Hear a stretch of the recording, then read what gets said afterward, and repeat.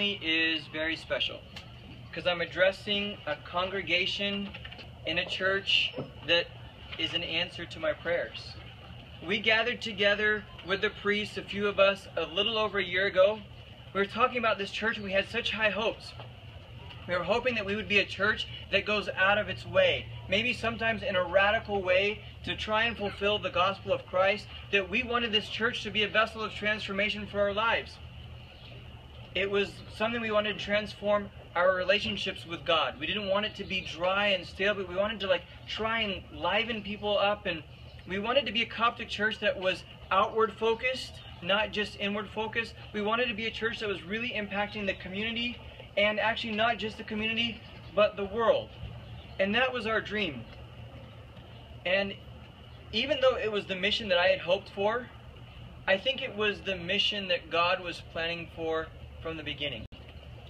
Based on the history of the churches in our diocese, all of them, except for one, before us, were named after a saint. Even the first American mission church in LA, it was named after St. Paul. And then there was the Holy Resurrection Church. And there was one name that I was praying that somehow we would get. And the priest would go talk to the bishop. We weren't allowed to be there. And the bishop was just, from what I understood, it came from him. It's like, well, what name should the name of the church be? And they didn't say anything. And then I heard him say, well, are other churches naming their churches after events in Christ's life? And they said, yeah. And from what Father Daniel said, he said, well, why don't you guys be Holy Transfiguration Church? That was the church name that fits our mission of transformation. Like it was what I had wanted, but somehow God must have arranged it on His own. That He's planning for this church to be a vessel for transformation. So when I ask you, and I want this ingrained in your mind so much, what is the mission of Holy Transfiguration Church? It is transformation. Now, I don't want you to just think about that when you come to the church. Transformation is our thought when we come to the church, but the idea is for you to carry transformation into your daily lives. When you're at work, in your families, when you are talking to God personally, the goal for you as an individual and for everyone around you is supposed to be transformation. You have been officially anointed. You're ordained vessels of transformation in your community wherever you are. That wasn't very orthodox what I just did, but I think it'll, it'll go. And I wanted to show you that even though our mission is transformation on paper, which I'm going to go over the core values with you. If you look at the core values, there's a special order of the core values. Hopefully you notice it's for us to be in His image. We're supposed to be transfigured into His image with these core values. And so I want to show you that even though the slideshow was amazing, the part you didn't see, it gets so much better. The end is like awesome. But it goes to show that it's not just on paper transformation, but we are in action as well. Our ultimate goal as a church, any church, the goal always has to be heavenly worship if we did anything else, if we had more fishing trips and we had more teaching different things and we had coffee or whatever, we would be anything but a church if you don't have worship. And so the goal we started this church was that we would have transformed worship. That our kids, I understand there's a lot of people who still hold on to Coptic, but we really wanted our kids to understand every word they prayed. But not only that, we wanted it to be able to be accessible to the people outside of the church. That someone from outside could walk in and say, this is amazing and I can actually participate. But in terms of heavenly worship, like Abuna was just saying, there are several mottos that we've talked about in the last year, and I'm going to mention them to you. One of the mottos at, Saint, at Holy Transfiguration Church is everything begins and ends with prayer. And I want that to be in the Sunday schools, in your homes, I want you to realize whenever you guys have a problem at home, whenever your families are going through things, there's a problem at work, you say, you know what? What is our motto? Everything begins and ends with prayer. We will be a worshiping community regardless of the building we get. And that's the most important thing to us. The other things are nice, but we are ultimately created to worship and glorify God as a community. So we're trying to transform and the goal is for us to have a positive liturgical experience.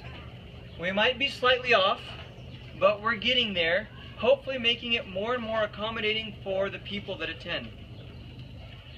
I is imitation of him. And ultimately, I would love for you guys to memorize these because you'll carry them with you. I want people to know when they come to this church, what do we believe in? Imitation of him. We did a whole series on this during Lent.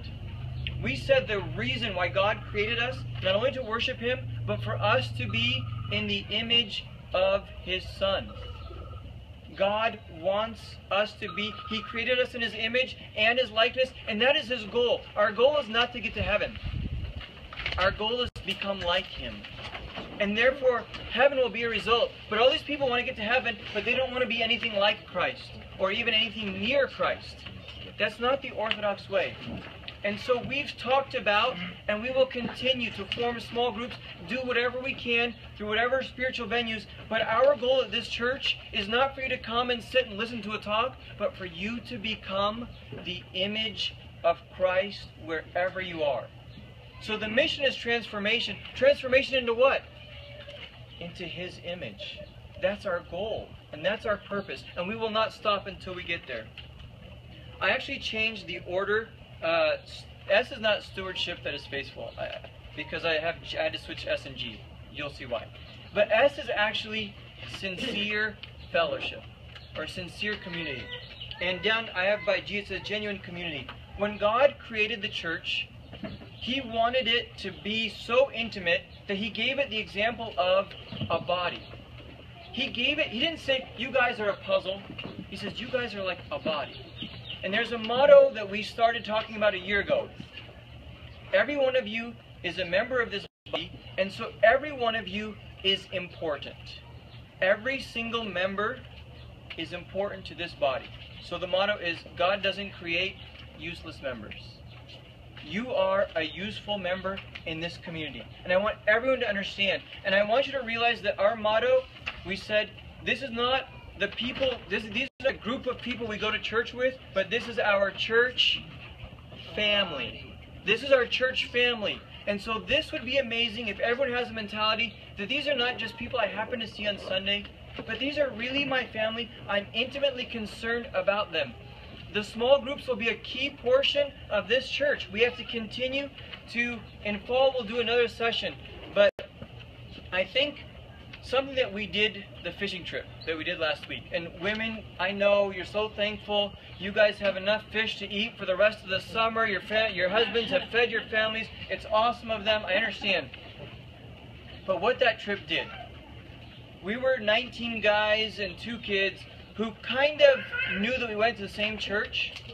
But after that trip we knew each other's names. We had like grown up together. We had like caught fish together. Like we did amazing things. And now we were like, we're no longer strangers. But we felt like we were a community. And even though it was a little bit rough for some of us, we enjoyed the experience, not for the joy of vomiting, but for the joy of being together.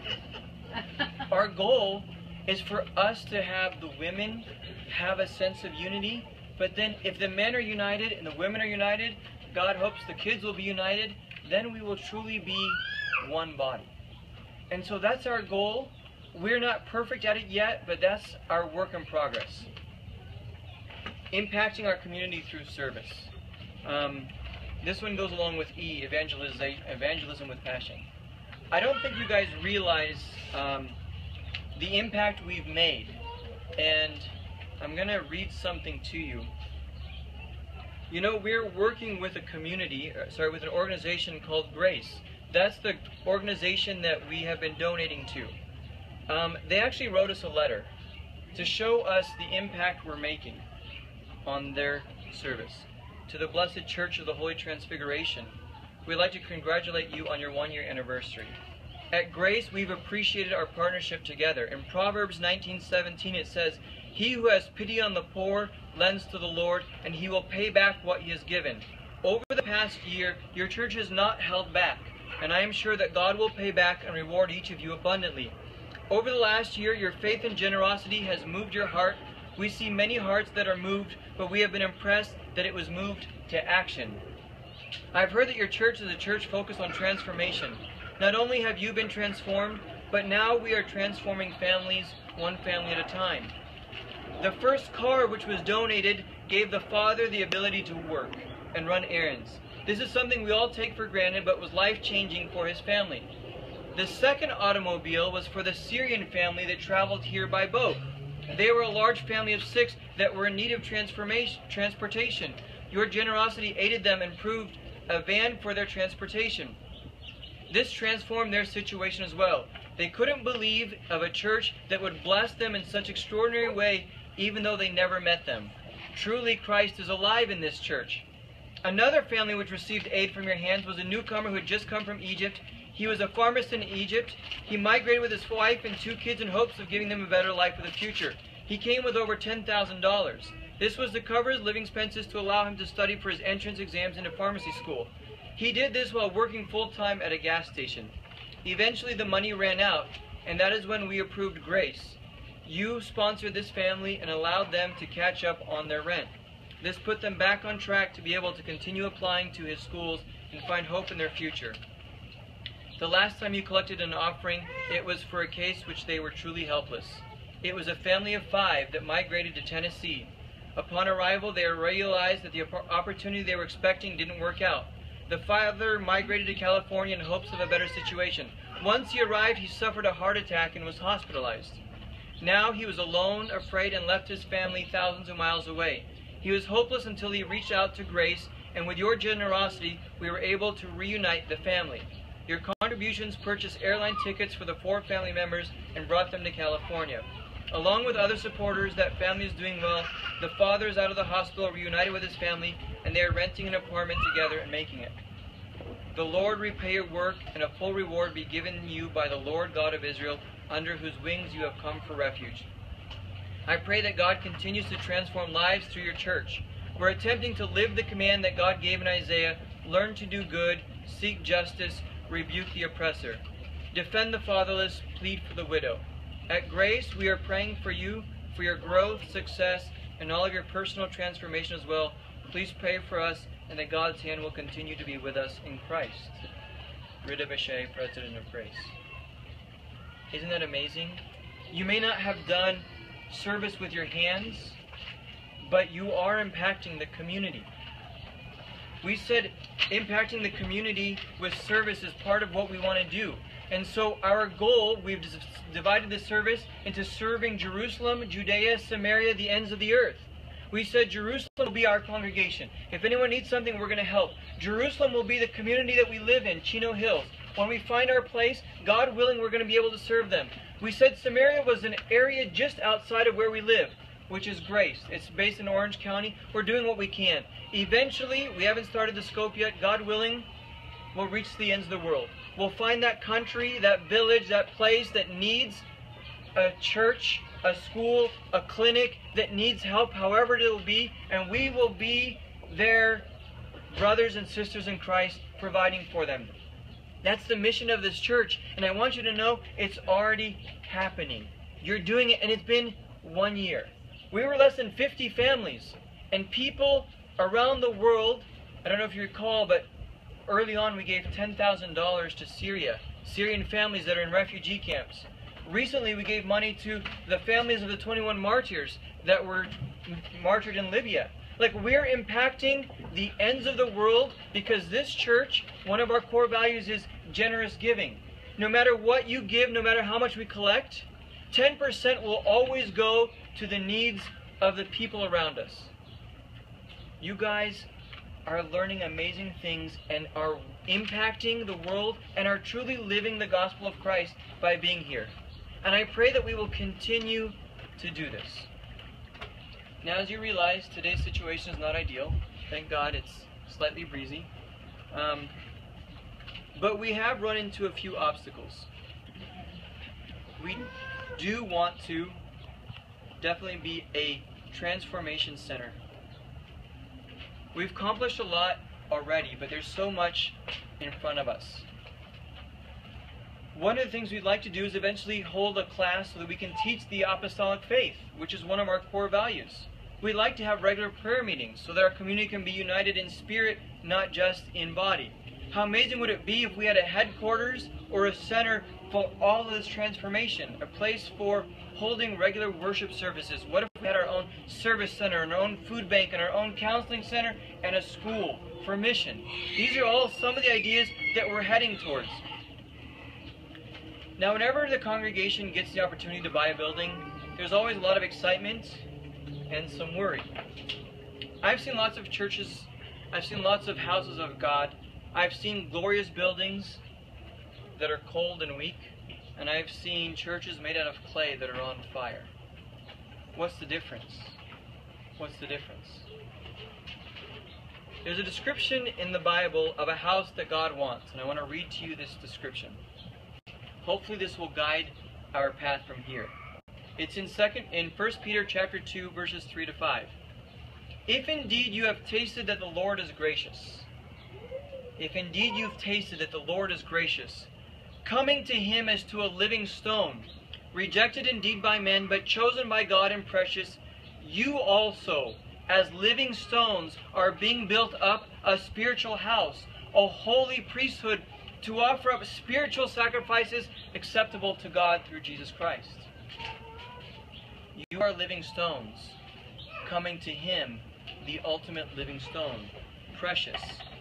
One more verse I'm going to read to you in Ephesians, which goes along with this. It gives us an idea of the house that God wants. In Ephesians chapter 2, also, he says, Now therefore you are no longer strangers and foreigners, but fellow citizens with the saints and members of the household of God, having been built on the foundation of the apostles and prophets, Jesus Christ himself the chief cornerstone, in whom the whole building, being fit together, grows into a holy temple in the Lord, in whom you also are being built together for a dwelling place of God in the Spirit. Mention a few things about this building. The description of this building. Ultimately, in those two passages, it's going to be a spiritual house. It's going to be a holy temple. It's going to be a place where God dwells by His Spirit. God wants not just a physical building. He wanted one in the Old Testament, and that is critical for us, but He also wants a spiritual building. That's His goal. What is the purpose of that building? It's the dwelling place of God in the Spirit. There's a psalm that we read every morning in the first hour, and I love this psalm, and I think we're beginning to move in this direction. David says this One thing I have desired of the Lord, that will I seek, that I may dwell in the house of the Lord all the days of my life, to behold the beauty of the Lord.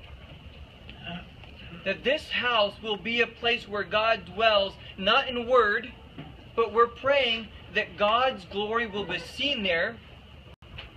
And we'll talk about how it'll be seen there in a minute. The description it's a holy temple, a spiritual house for the dwelling of God. Well, what is the foundation? It's very clear. He says the foundation is the prophets and the apostles, and Jesus Christ, the chief cornerstone. We've been given from the apostles and the prophets an amazing truth. That even the angels in all their existence didn't know this truth that God would be in us, as St. Paul describes in Ephesians. This is an incredible truth that we can't keep to ourselves. It's a mystery that God wants to reveal to everyone. Now, the apostles and prophets gave it to us, but what's the most important part? Jesus Christ is the chief cornerstone. That we want everything that we do in this church not to be based on Abuna's opinion or my opinion or your opinion. Ultimately, it's because Jesus Christ is the chief cornerstone. All that we do comes from his sayings, from his teachings, the spirit that guides us and leads us by him and to him and through him to the Father. Jesus Christ is everything. He's in all and he is above all and he works through all. That is our belief. He is the chief cornerstone. People say, Are you a Bible believing church? What is your church based on? You can now tell him, tell them, Jesus Christ is our chief cornerstone. That's what we believe. That's what he taught us. We know the description, we know the purpose, we know the foundation. What's the construction material? This is where I need you to pay attention. This part is critical. A foundation is not a building.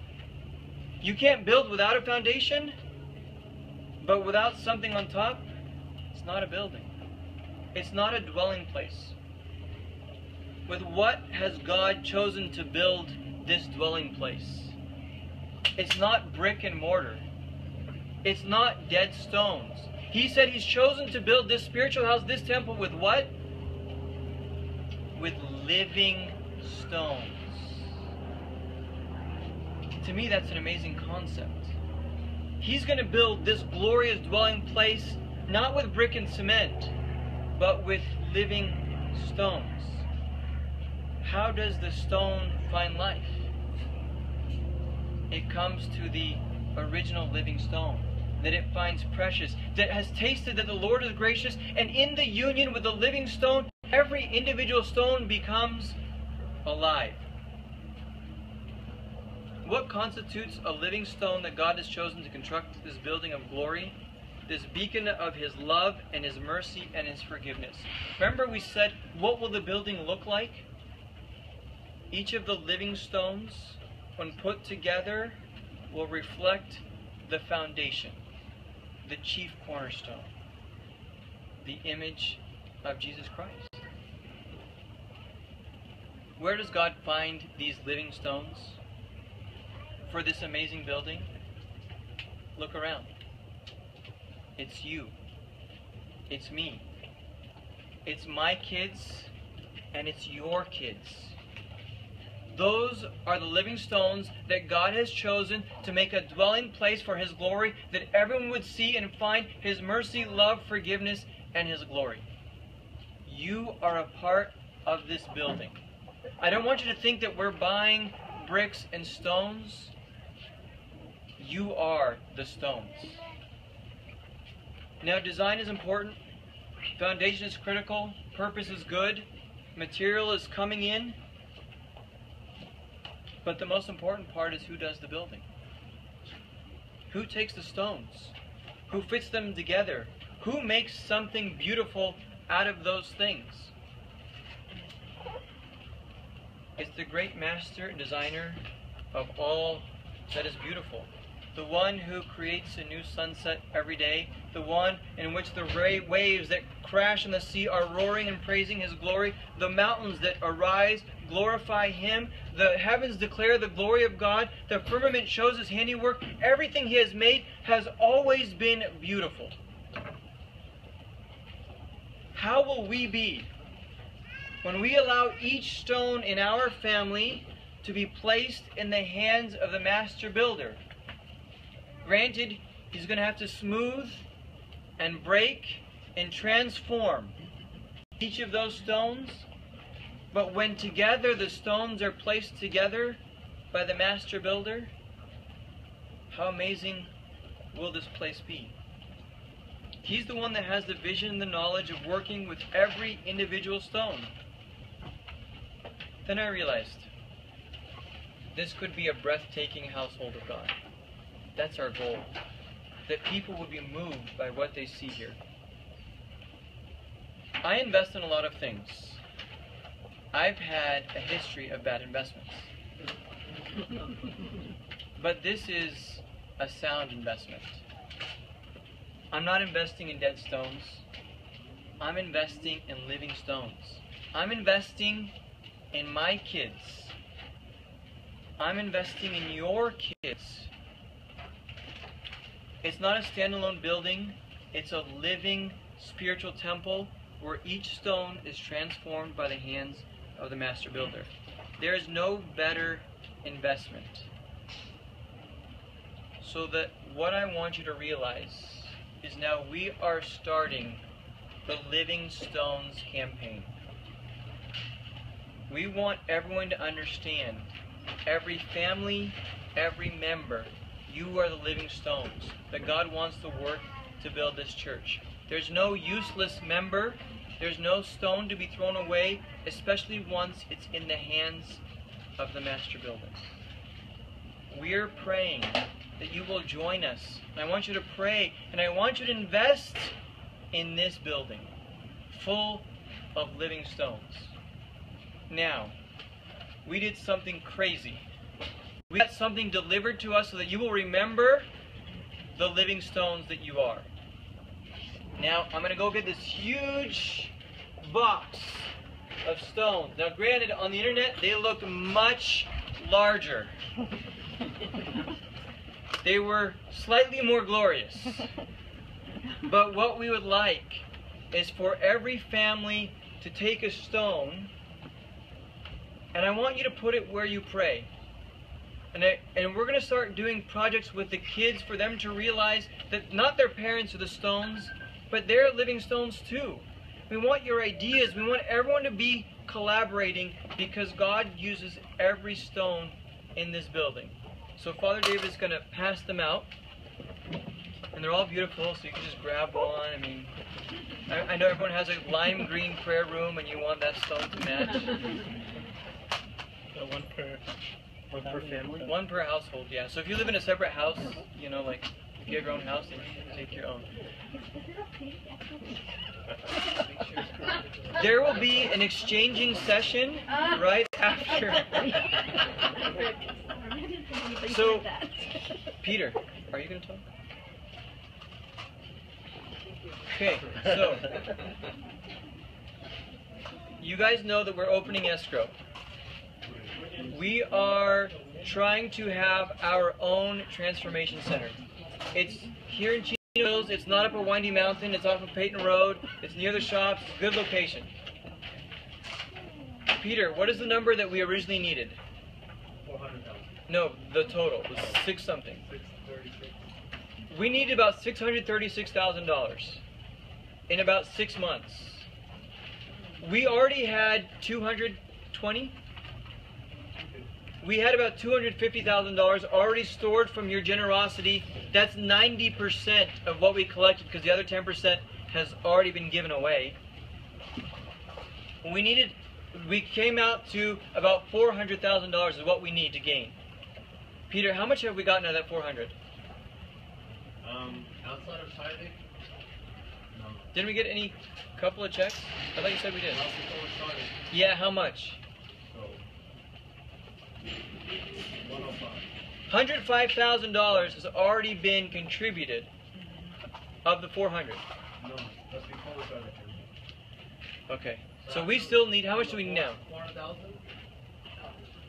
We raised what? Outside of tithing, we raised three thousand. Okay. We're at four hundred thousand. So we still need four hundred thousand dollars. Okay. Which is not a lot. If you think about it, for a church this small, to already find a piece of land that is within our reach in terms of affordability, it's actually part of God's plan. We've been looking all over. There are other churches who have been around for years and years and haven't found it. Somehow God has prepared this name, has prepared this congregation, is building this house with these stones. So what we're asking is not to write a check for four hundred thousand dollars. Not exactly. I mean, but we're not rejecting anything. But this is our Living Stones campaign. For the next six months, we want to build Living Stones. Not financially. Financially is important. Hey, Green. um, but I want every family. We talked about personal sacrifice last week, and you want to know what the first thing I asked you for today was? Money for a poor family. We want you to be generous givers that God will bless your families. But if it, God puts it on your heart, we hope that He does, and I'm sure that He wants to. He wants you to build this house with us. So we'd love over the next six months, we're going to come up with ideas and brainstorming and stuff like that. But with your families, pray and consider what you'll be able to give in the next six months. Okay? That would be amazing because you've already seen what we've started, and now you know where we're going. I can't wait till the next year anniversary where we're actually in our own transformation center. May God bless your families and your stones in your lives, and let's have another blessed year. You pray for us. Stand up to pray. In the Father, the Son, the Holy Spirit, from the Mother of the Lord who gave us and who loved us. We praise you and glorify you for all the gifts that you have given us. We thank you for last 365 days that you have been with us and helped us to grow in you. We ask you in the future of mankind to Help us to transform us to become living stones which imitate you, the rock. Help us to be strong in our faith, to be strong in our determination to follow your commandments, and to build up your holy church, which is the invincible fortress, which the devil and no evil can penetrate. Be with us always, strengthen us, and fill us with your grace, that we may be transformed by the renewing of my, our mind, and that we may hear your voice of joy, saying, Well done, good and faithful servant. You are faithful over few things. I will make you ruler over many things. Enter into the joy of your Lord. Be with us always and bless this church and every family and every person that we may be transformed from glory to glory. To the intercession and supplication of the Holy Mother and Mary, all the choir of your heavenly saints, the blessed apostles and disciples, hear us and have mercy upon us and make us worthy to present food. Our Father who art in heaven, hallowed be thy name. Thy kingdom come, thy will be done on earth as it is in heaven. Give us this day our daily bread. Forgive us our trespasses, and forgive those who trespass against us. Lead us not into temptation,